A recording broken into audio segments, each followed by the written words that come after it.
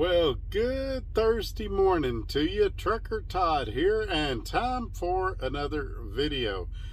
I know it's rare, folks. Normally we put out a Wednesday video. Yesterday I was so busy I didn't get it done. So today we're putting out a special edition Thursday video. And today's topic is about a question I received on my last video. A really good question basically, I'm just going to paraphrase what the guy said. Trucker Todd, why are you still working at Dart? You've had issues with them a couple of times, and uh, why not leave? The definition of insanity is uh, continuing to do the same thing over and over and expecting a different result. So basically saying it's insane for me to stay at Dart with all that's happened so far. And also part B of that question, how could I possibly recommend a company that has messed up my pay and that I've had so many issues with? Well, I'm going to try to answer that question. I know you guys are going to want a 30 second answer, and unfortunately, I can't answer that question in 30 seconds. However, I will tell you this video is very similar to one I did when I was working at Roadrunner Freight and started having problems there. Guys asked me, then why don't you just leave Roadrunner? Why would you stay there? Uh, the the final part of that guy's message, and it was a pretty long one, was Dart basically must just be kissing your tail because of your platform on YouTube, or Dart must have slid you a bunch of under the table money to make you still recommend them after all that's happened. I'm going to do my best to answer all of those questions, but I can't do it in 30 seconds. But what I can do is try to answer it as completely and fairly as I can. Before we continue, give this video a thumbs up. Look down below the video and subscribe.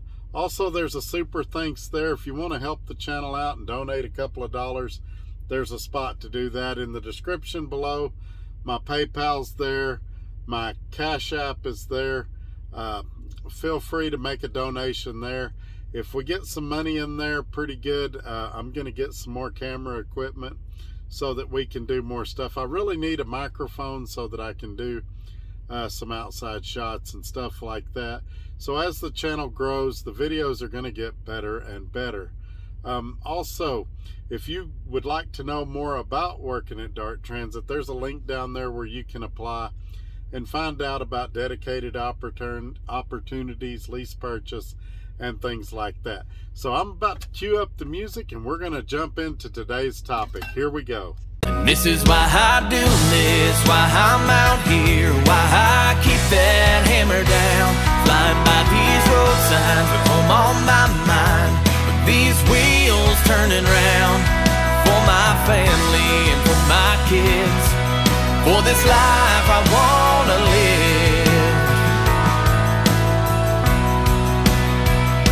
Is why I do.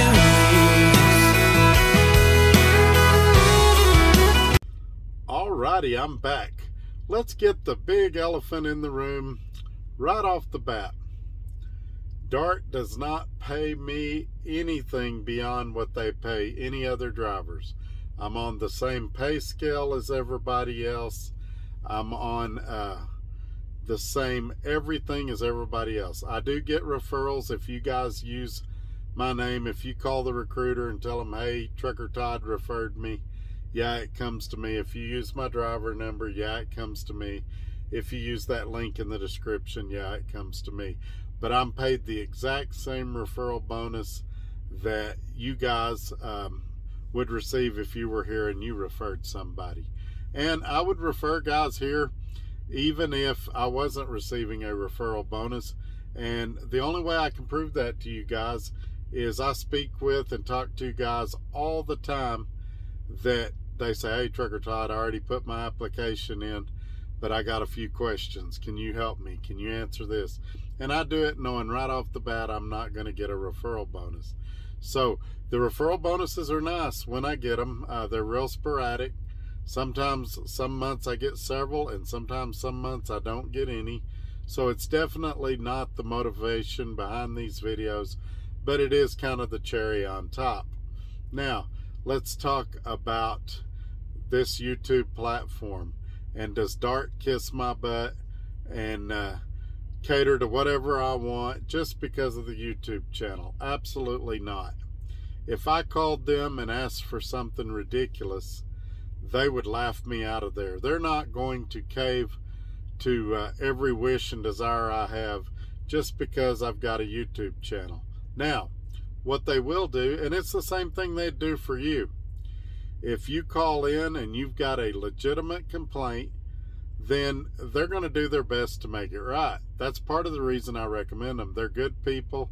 And so, um, the reason that I've got my way in a lot of these cases is not necessarily because they're afraid of YouTube, but more because I've had legitimate concerns and complaints that were easy to take a look at and determine that I might have been wronged, whether it was intentional or accidental.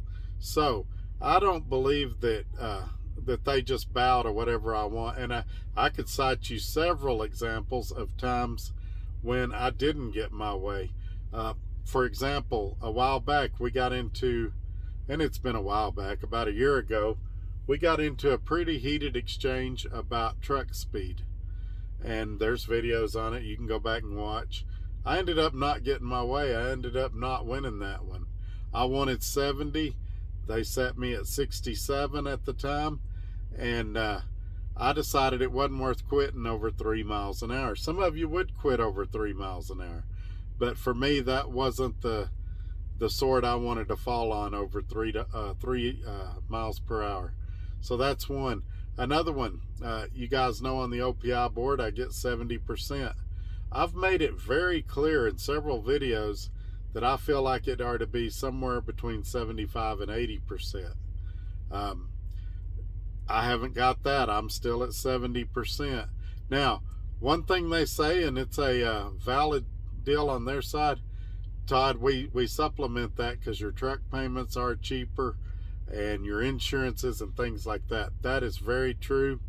Um, I looked at a company when we were having our little spat uh, that the truck payments were almost exactly double what I'm paying now if you got a 2022 Peterbilt like what I currently have. That other company, and we're going to talk about some of these other companies because you guys will, will message me and say, hey, what about this company? Hey, what about that company? This company wanted $2,000 for a toll transponder. Uh, when I worked at Roadrunner, I had my own toll transponder, and I think I spent 250 or 300 dollars on it, getting it directly on my own, and that's including the little savings account they make you start. So they were definitely price gouging on the toll transponder. I don't know why, if they had guys that weren't returning it when they quit, or if it's just an easy way to make money. You imagine doing that to 100 drivers and them sticking that money in a savings account or some type of investment account. I'm sure they're drawing a lot of interest off of that, and I see why they do it. And unsuspecting souls that don't know better are just going to do it because they take it out so many dollars a week, and the drivers don't realize how much they're paying. I've been amazed since I started doing this how many people don't know what they're spending for what. They've never read their contract. Everybody agrees you should read your contract, but you'd be surprised how many people actually do. So, and I could go on and on. There's tons of examples of where I wanted something and Dart didn't cave to me.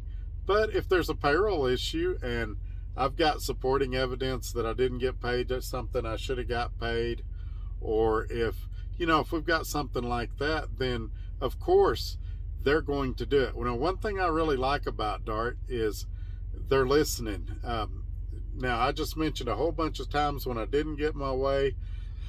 I've mentioned some issues where I did get my way because I had documentation, things like that. So, but the one thing they're listening to is my constructive criticisms. Um, you know, they could uh, just blow me off, say, ah, he's a driver, he don't know what he's talking about. But we have real productive conversations. Um, I was uh, this week, for example, I had a very, very, very productive conversation with senior level management at Dart Transit. I'm not going to call anybody out or say any names. You guys know I don't do that. But we talked probably 10 minutes, 15 minutes, something like that.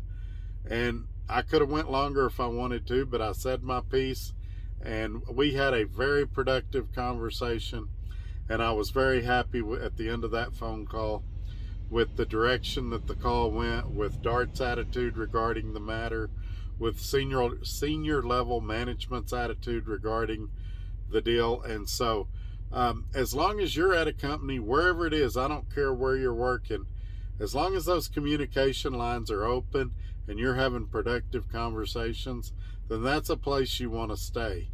And that's a place you can recommend. Now let's talk about another reason. Well, Todd, why are you having so many problems to begin with there in the first place? Well, there's a couple of things. For one thing, and this is going to happen at any company, since COVID, post COVID, offices are shorter staffed than what they were before. Also, offices are having a lot more turnover than they've ever had before. So you've got new people doing new jobs and less people to do the jobs than what there were before. And so they're doing the best they can, but they're human. Just like you make mistakes sometimes, they make mistakes sometimes. And guys are saying, well, Trucker Todd, why don't you quit? Well, because they're human, they make mistakes. Would I want them to fire me every time I made a mistake? You know, I just heard an interesting statistic this week. Over 90% of people try something one to five times and if they don't succeed, they quit. And uh, obviously, I've done several lease purchases with several different companies. I've been successful at several, at almost all of them, but I've left for whatever reason. Um, and so I said all of that to say this. Some of you guys quit way too quick. You have one little tiff and you're out the door. And I work on these things. You know, if I have an issue with Dart, it's weeks before you guys find out about it because I work behind the scenes to try to resolve it. Me getting on here and getting in the mud with Dart does absolutely nobody any good. Because if they fix the problem, then I've just slammed them for no reason. Or unfairly at the minimum. If uh, if they fired me for running a car off the road, and then two weeks later, they found out I never ran a car off the road and said, Hey, we'd like to bring you back. Well, at that point, the damage is already done. I've been fired, I've been gone two weeks, and now they want to bring me back. Same thing here. You know, I really hated that I quit and left for those eight days and then come back, but the damage was already done. That was eight days I didn't have income. Um, and some of it was optional. I had over three dozen job offers um, I could have went somewhere else. I was a little burnout and frustrated, so I took some time off at home. Um, and so, but I, I don't want to ramble here. I don't want to make more of this than than what it is. But some of you quit way too soon. I've had guys call me, not just with Dart, but with other companies, worked there a week and something goes wrong. They blow out a tire, their alternator goes out, and they're ready to quit already a def level sensor. Those seem to go out whether you got a Freightliner or Kenworth. That seems to be a common problem. But guys want to quit after over the silliest things. And uh, you got to stick it out sometimes. It's like a marriage. Do you get a divorce the first time you have a disagreement with your spouse? If you do, you're probably one of these people that's been married four or five times. And same thing, I used to have a neighbor if you go back and watch the old Roadrunner videos, I used to have a neighbor that every time I came to home for home time, he had a new trucking job. And uh, my wife used to call me when, when I was out on the road and she'd be like, hey, the neighbor's working here now. Hey, the neighbor's working there now. And we kind of got a laugh out of it. I don't see how he got hired so many places. And uh, I always thought maybe he was doing it for the sign-on bonus or the orientation money. And then he'd quit and go to another company. There's a very popular YouTuber that does this. About every three or four months, he's at a new company and it gives him videos he can do about orientation, the new truck, the hotel he stayed in, the rental car. Uh, he can give a 90 day review and then all of a sudden he's at another company. And uh, I'm not that way.